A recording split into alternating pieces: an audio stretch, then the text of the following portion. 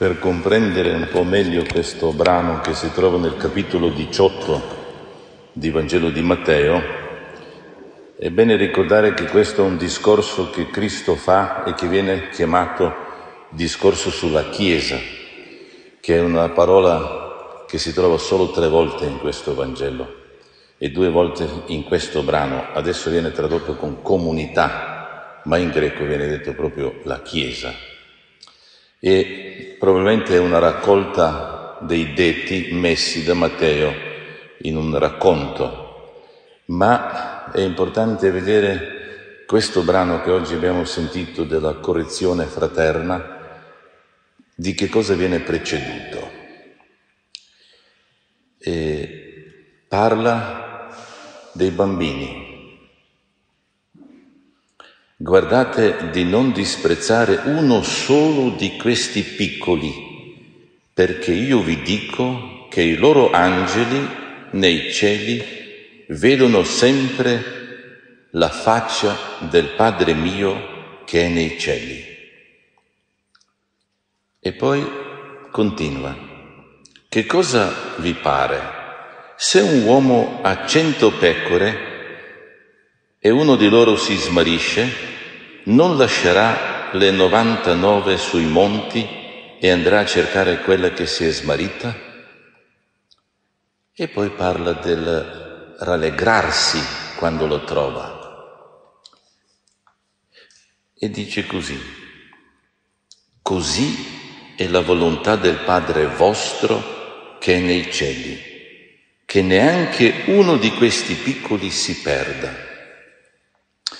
Allora, il brano odierno è praticamente il commento che fa Cristo su questa immagine del buon pastore che va a cercare la pecora smarita. E poi Cristo commenta così come abbiamo sentito nel Vangelo. Vuol dire che non si tratta di andare a monire qualcuno che ha fatto qualcosa di male, ma si tratta di andare a recuperarlo riprenderlo, riportarlo nella Chiesa, proprio come il pastore ha fatto con la pecora. E infatti dice, se il tuo fratello commetterà una colpa contro di te, va, adesso viene tradotto ammoniscilo, ma di fatti il termine greco nella stessa Bibbia viene tradotto più volte diversamente, cioè convincilo Convincilo che sta facendo male, che ha sbagliato la direzione, che si sta allontanando. Aiutali a prendere atto, diventare cosciente che sta sbagliando.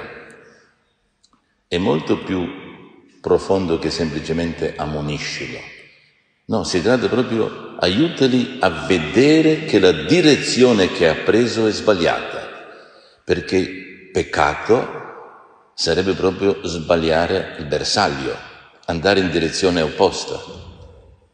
No? Ma qui non parla del peccato, ma colpa contro di te. Vai e cerchi di recuperarlo. Si tratta dunque di prendere cura del fratello e non semplicemente di andare a sgridarlo ma prendere cura vuol dire avere quell'amore che ha il buon pastore che va a cercare la pecora. È solo l'amore che spinge te ad andare dal fratello. Ma voi subito capite, no? Anche dell'esperienza, che fin quando tu sei offeso e vivi un risentimento o un po' di rabbia o addirittura molta, tu non puoi andare da quello che ti ha fatto del male, perché vieni arrabbiato, carico di una negatività. Cosa succederà? Un grande conflitto. No? Nient'altro. Tu provi a pensare che in una casa religiosa, facciamo così meglio, così siete più tranquilli, cioè in una casa dei frati, un frate lavora con i giovani, i giovani bisogna lavorare la sera, poi lui ancora conclude le cose, verso l'una arriva nel corridoio e va a cercare la sua stanza e sbatte bene la porta quando la chiude. E tutti i frati si svegliano, no? E se uno uscisse fuori e dicesse, ma cosa fai a quest'ora? Non vedi che tutti dormiamo, tu ci svegli tutti. Se quello lì non è proprio un santo, cominceranno a litigare da morire, perché uno dice, ma che te ne importa? Tu dormi già, io lavoro, ma vedi come sei?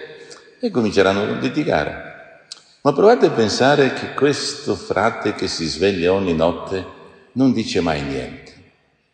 Poi arriva, che ne so, Natale, frati si augurano Santo Natale e questo frate gli dice, sai c'è una piccola cosa che vorrei dirti.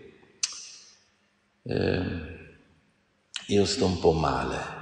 Infatti vedo, sei un po', sai, dormo molto male. Ah sì, ma, ma, ma come mai?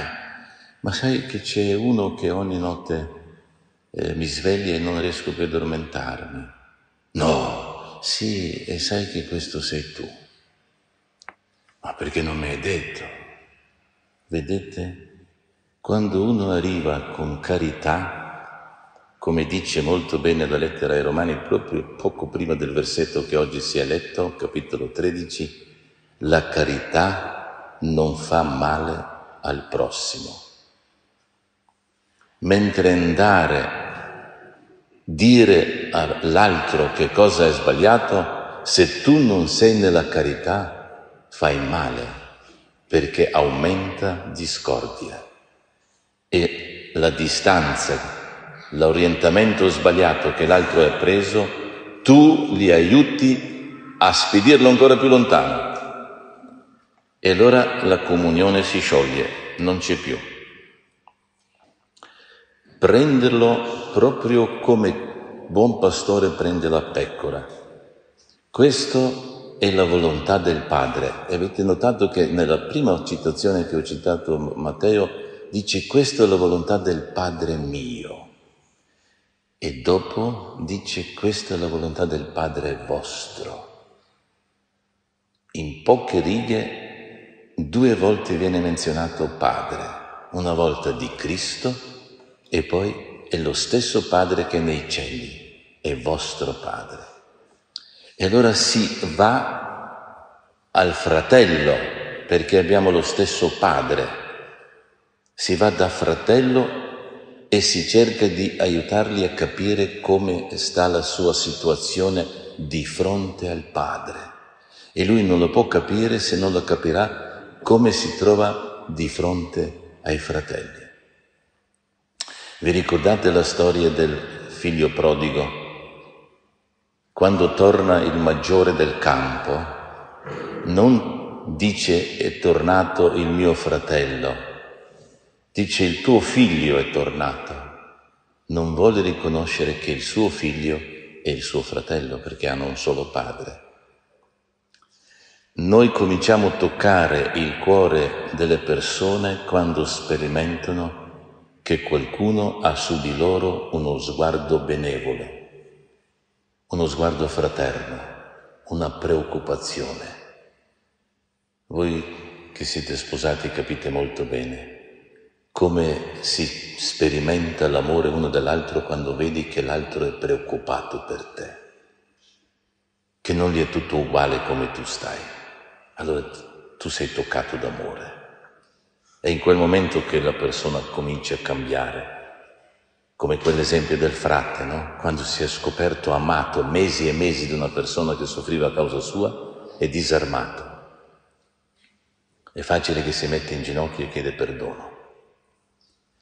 Allora si tratta proprio di questo, perché ciò che commuove e tocca è la carità, cioè la comunione tu se anche vai e ammonisci, usiamo questa parola, ammonisci il fratello, a che gli serve? Abbiamo persino stancato il popolo con ammonimenti. A che gli serve?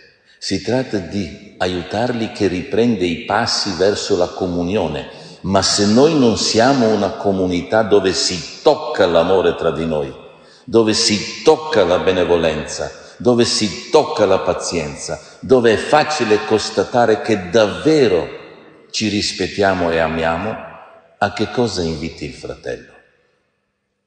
A niente. Diventa un moralismo, un eticismo che non fa altro che stancare ancora di più. Mentre se tu lo inviti alla mensa, come il padre ha accolto il figlio prodigo e cercava di portare dentro il figlio maggiore, allora capisci diversamente. Tutto cambia. Perché chi sbaglia vede che si sta allontanando dal cielo, dal cielo sulla terra, dall'amicizia, dalla festa degli amici, di quelli che si amano, come furono chiamati, chiamati molte volte nella storia i cristiani, quelli che si amano. Infatti nella prima lettera ai Corinzi, in primo capitolo, versetto 9, Paolo dice, noi siamo chiamati alla comunione del Figlio suo e nostro Signore Gesù Cristo. Noi siamo chiamati a questa comunione e lì in greco è molto bello perché chiamati, Paolo usa un termine solo lì, ma è molto bello, eklethete in greco, che vuol dire? in ecclesiati, perché è la stessa parola che è la radice della ecclesia, della Chiesa. Essere chiamati significa essere messi dentro una comunità reale, un organismo vivente, un'amicizia tra le persone, quelli che sanno prendere cura uno dell'altro. Noi siamo chiamati a questa esistenza. E allora quando si riprende un fratello se lo riprende per portarlo di nuovo a questa comunione, a questa amicizia. E se questo non accade, e questo se ne infischia di quello che tu gli stai dicendo, e tu dici, vabbè allora faccia quel che vuole. No, viene detto tu lo consideri come un pagano e un pubblicano. È proprio questo che è il problema perché nel capitolo 11, eh, versetto 19 di Matteo, Cristo viene chiamato amico dei pubblicani e dei peccatori. Per la mentalità chiusa farisaica, no? nazionalista ebraica, era molto facile. Pubblicano era un peccatore riconosciuto da tutti, dunque tienitelo lontano, non ti neanche avvicinare a casa sua perché ti rendi impuro. Il pagano è p- proprio peccatore per eccellenza perché non conosce il nostro Signore e fa quel che gli, gli viene in mente, dunque proprio un pagano è un peccatore. Ora Cristo viene chiamato amico dei pubblicani e dei pagani, dei peccatori. Forte questo. Che vuol dire? Se uno non ti ascolta e va avanti, tu continui ad amarlo in una direzione sola, da parte tua verso di lui, il ritorno non lo ricevi. Tu continui ad amarlo. Perché? Perché la comunione che viviamo in nome di Cristo è la presenza di Cristo stesso e perciò, conclude Cristo, in questa unità, in questa comunione, che è la mia presenza in mezzo a voi, continuate a pregare e il Padre vostro che è nei cieli saprà trovare il cuore del fratello. E sappiamo il documento antico che dice che a Roma, nel cristianesimo antico, le pareti delle basiliche tremavano dalla forza della preghiera della comunità cristiana che pregava per i peccatori.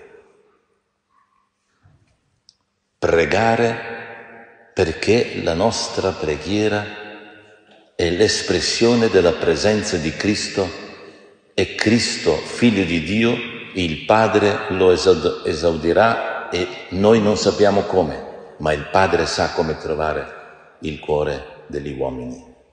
E perciò certamente quando dice amerai il prossimo tuo come te stesso. È proprio questo. Io ricevo l'amore del Padre come Cristo, riceve l'amore del Padre e che cosa fa? Lo passa a noi. che noi possiamo conoscere il Padre. E se l'amore passa attraverso di te, cosa succede? Se ti passa attraverso tutto ciò che tu sei, sperimenti che sei amato. E come passa attraverso di te l'amore? Così che tu lo fai passare agli altri. Amare gli altri come te stesso vuol dire quando io amo gli altri sperimento di essere amato, perché l'amore passa attraverso di me. Voi direte, ma sei sicuro che è così? Che per essere amati bisogna amare? Sì, è proprio così. Perché l'amore io non ce l'ho, lo ricevo e quando lo passo a te, quando faccio un gesto d'amore verso di te, anche la mia carne, le mie ossa sono state assunte nell'amore. Tutto ciò che sono è stato trapassato dall'amore, è arrivato all'altro. Ma come sei così sicuro? La prossima domenica. Ascoltate il Vangelo la prossima domenica. Perché Pietro ha capito molto bene, molto bene quello che stava dicendo Cristo e dice, eh caro Signore, mi sembra che stai esagerando. Perché a questo punto vuol dire che io devo perdonare sette volte al giorno? No, dice Cristo, settanta volte sette. Oh, dice Pietro, mi sembra un po' difficile questo, perché non ha capito una cosa, che perdono significa ciò che io ho ricevuto, adesso io faccio agli altri. Questo fratello se ne infische di quello che, sto, che gli sto dicendo. Mi rimane ancora una cosa. La preghiera nella comunione di Cristo mi porterà a fargli perdono.